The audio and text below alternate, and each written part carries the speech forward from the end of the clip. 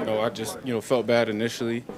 and as for as far as the you know the opportunities, yeah, that means more opportunities for me, and so um, I need to take advantage.